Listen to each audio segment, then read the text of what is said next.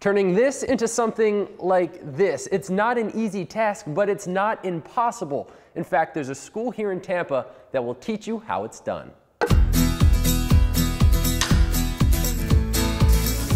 So the Florida School of Woodwork is a place where adults can come and learn how to design and build furniture, how to turn wood on a lathe, and how to carve um, using chisels and hand tools. We have a full workshop um, with some of the best uh, equipment that you can find.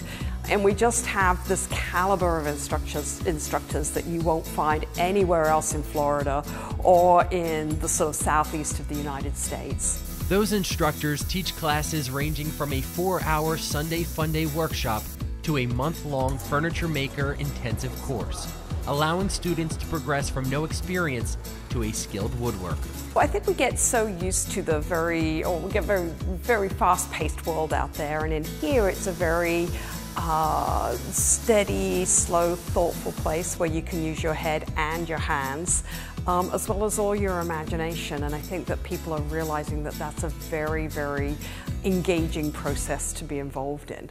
So here at the Florida School of Woodwork, they want to teach you how to do it, not do it for you, so that when you leave, you have the skills to do it on your own, like my cutting board.